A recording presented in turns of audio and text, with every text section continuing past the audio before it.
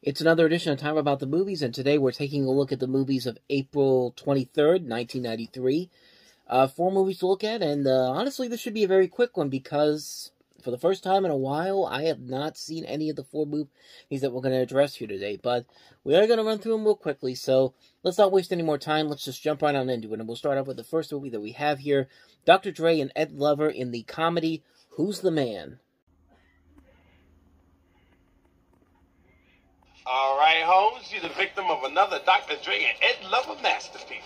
Yo, man, what did you do to my head? No, you gotta hold your head at the angle, brother. Women gonna think you a big Wesley Snipes because you got Wesley, I got Wesley. Man, I wouldn't let the two brothers cut my taxes. They were a couple of nobodies. What's up, Cherise? What the hell you doing telling people I'm sleeping with you? Mm.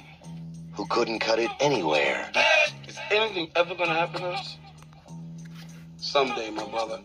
The police force is Iron Brothers. Uh-uh, Nick, uh-uh. Ain't trying to be the man. Trey, you trying to be the man? I am not trying to be the man. Give me one reason. Rodney King! But Harlem needs heroes. I want us to sign to the case so we can catch the guy ourselves. No matter who they are. That's some terror style. Being a police officer is about one thing. What that is? Harassing black people. Who's the man? Who's the man?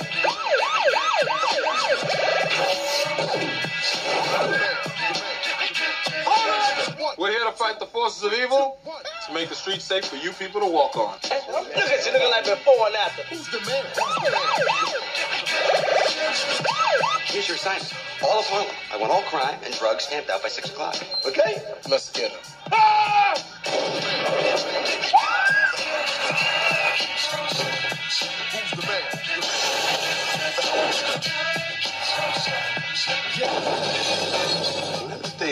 Going well at all. Oh.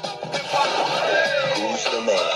A film directed by Ted Demme, starring Dr. Dre and Ed Lover, with Denis Leary, Colin Quinn, and a who's who of hip hop, including Naughty by Nature, Ice-T, Cypress Hill, Flavor Flav, KRS-One, Heavy D, House of Pain, Salt and Pepper, Kris Kross, and Bushwick Bill. Drop it! Come on, fellas. You know the bad guys are gonna lose. That's word up. Hey!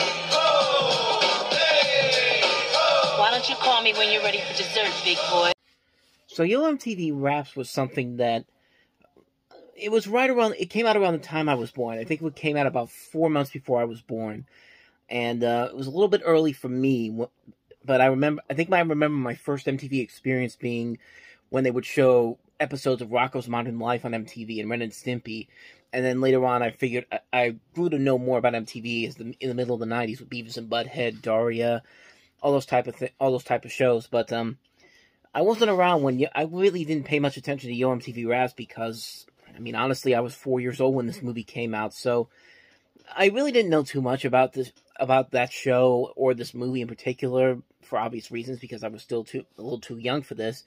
But um, I mean the movie itself doesn't look like it's that bad, and actually it does look like it's a ton of fun. You got Doctor, it's like I said, Doctor Dre, Ed Lover, big cast in this movie, Salt-N-Pepa, uh, Colin Quinn, Denis Leary, Bernie Mac is in this. This is the first movie with Terrence Howard.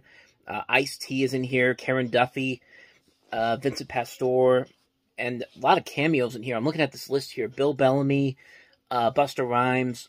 Uh, let me see what else is here: Fab Five Freddy, uh, Flavor Flav, Heavy D, House of Pain, Kid Capri, uh, Naughty by Nature, uh, Nikki D, Penny Hardaway, Queen Latifah, Run DMC, Scottie Pippen. Um, just all these names here that I'm very familiar with, and I've never even heard. I never even heard about this movie until the mid 2000s. I think it was actually on the videotape for uh, Ninja Turtles 3. I remember this trailer being on. Oh, uh, I see another one name I remember, Chris Kris Kross. They were actually they were in the trailer, so I wouldn't know that. But um, but um, yeah, I never saw. I've never seen this movie before, but it looked like a movie that could be fun for what it is. It honestly looks like something on the same lines as Disorderlies the, with the Fat Boys, and um, that's that's a, that's another one of those movies where there isn't really a whole lot of. It's not really all that exciting, but in terms of a story, but it is a fun movie overall if you're in, if you have the right mindset to it. And I think this movie kind of has the fun mindset to it. Um, honestly, it could be. so. It actually could be something pretty good. It's something that I've been wanting to see for a long time now. I've just never gotten around to seeing it, but I have been wanting to see it. So maybe one day I'll definitely check it out. But um, that's really much. That's really all I gotta say about this movie in particular. I knew about it from the Ninja Turtles three tape, but um, other than that, that's pretty much all I know about this movie. Except also that um, Ted Demme directed, and Ted Demme is of course the. Is he related to Jonathan Demme? I'm. Yes, that's his uncle. Jonathan D- Demme is his uncle. And uh, he's gone on to, Ted Demme actually went on to direct some pretty good movies, including The Ref with Denis Leary, Life with Eddie Murphy and Martin Lawrence, Blow with Johnny Depp and Penelope Cruz. So uh, it's it was interesting to see to know that this was his first movie that he directed. So all my my interest in this continues to be piqued for this. I really want to see what this movie is about. Maybe one day, like I said, I'll definitely check it out. But I'm not in an immediate rush to see it. But one time, one day, I will definitely see if see if about checking it out. So.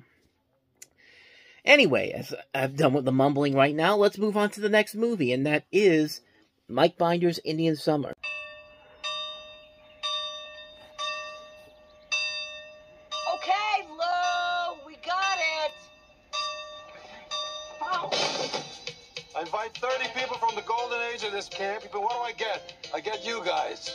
Sad state of affairs. Is it me? I don't remember smelling this much like urine. It always smelled like urine. That's how you could find the place when you came up the hill in the dark. You know, Gwen and I run three miles every morning as a warm-up before we work out. Right, baby? Right. We really ought to spend the rest of this week coming up with an elaborate way to kill those two.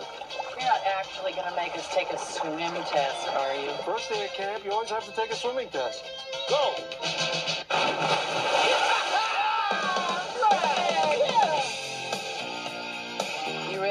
Not even close. Too bad. You've gotten kind of sexy. Very, very good. He's a moron. No wonder you're so attracted to him. I hope I didn't offend any of you. No. Touchstone Pictures presents the story of eight friends returning to the best summer of their lives. Being up here is just making me so emotional, you know? Somebody really needs to just smack me one. Oh,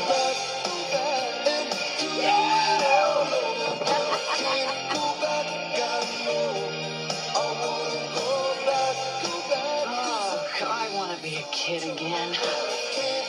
Indian Summer. We've already talked about Mike Binder's previous film that he did, Crossing the Bridge, and he would later go on to direct such films as Blankman, uh, The Upside of Anger, Man About Town, Reign Over Me, Black or White, and um, it's got a pretty decent cast to it overall. You've got um, Alan Arkin, Diane Lane, Bill Paxton, Elizabeth Perkins, uh, Kevin Pollak, Julie Warner, Kimberly Williams. Even Sam Raimi has a role in this movie. Um, like I said, I haven't seen it before. I can't really comment on it too much, but it honestly doesn't look too bad of a movie. It's a movie I'd probably check out one day just because of the cast alone, but I haven't heard too many good things about it, but the cast alone makes me curious about what kind of a movie it is, so one day I'll definitely check it out again, but, um, or I should say definitely check it out, because like I said, I haven't seen it before, but, um, yeah, that's Indian Summer, so let's move on to the next movie, and that is Timothy Hutton in the Dark Half.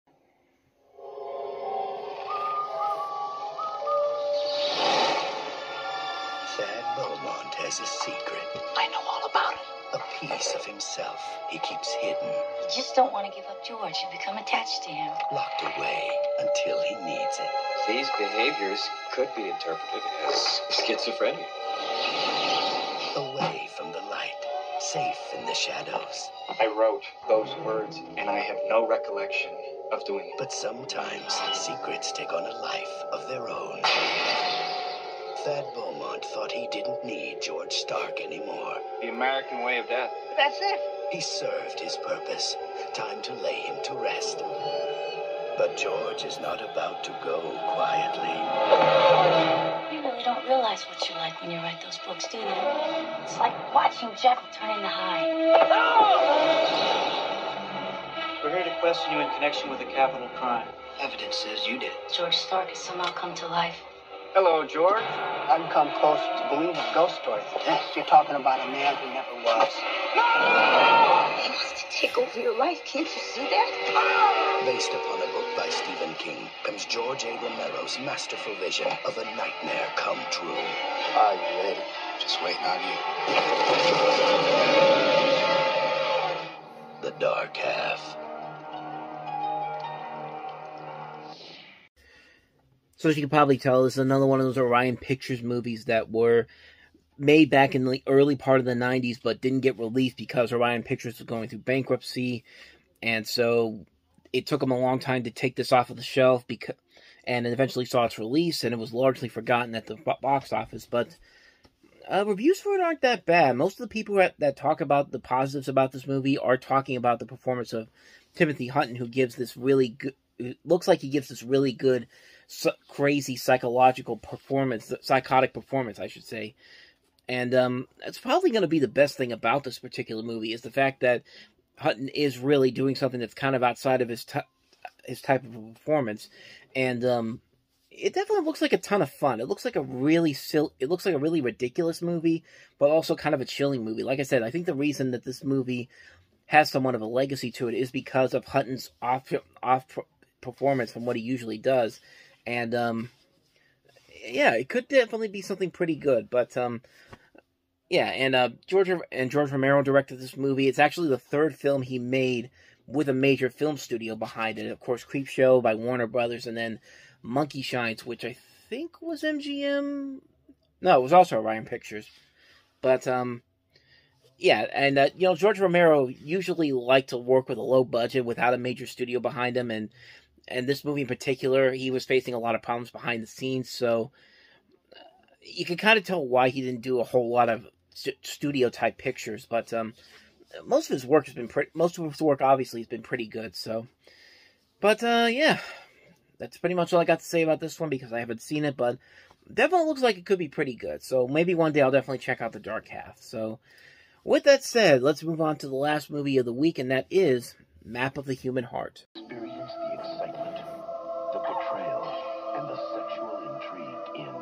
Map of the Human Heart, a mesmerizing romantic epic. I fell in love with a beautiful girl. I found out she was two-timing me. The first really great film of the year, Ray Siskel and Ebert. Two thumbs up, way up, for Map of the Human Heart. Don't miss this startling epic of seduction, rated R. Now playing at a theater near you.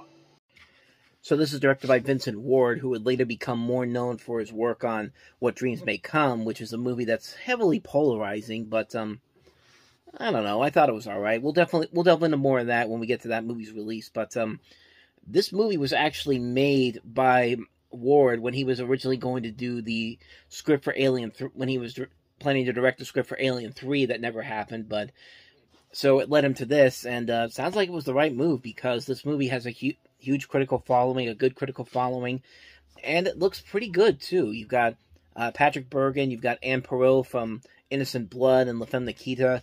Uh, John Cusack is also in this movie in one of his early film roles. Jason Scott Lee is in here. Um, ben Mendelsohn.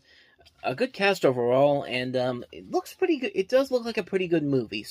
Um, yeah, like I said, nothing really more I can add to it because I haven't seen it, but it definitely looks pretty good. So one day I might check it out. But um, there you go. That's Map of the Human Heart. And so on that note, we wrap up another edition of Time About the Movies. Next time we meet, we'll look at five new movies, including Three of Hearts, uh, Splitting Hairs with Eric Idle and Rick Moranis, Blood In and Blood Out, The Night We Never Met, and also The Pickle. So five movies to look at next time. Uh, but until then, thank you very much for watching. And if you want to see more videos like this, uh, please hit the playlist on the next page. Check out the previous episode. I'll see you guys tomorrow for another episode. So thank you for watching. I'll see you next time. And until then, as always, take care.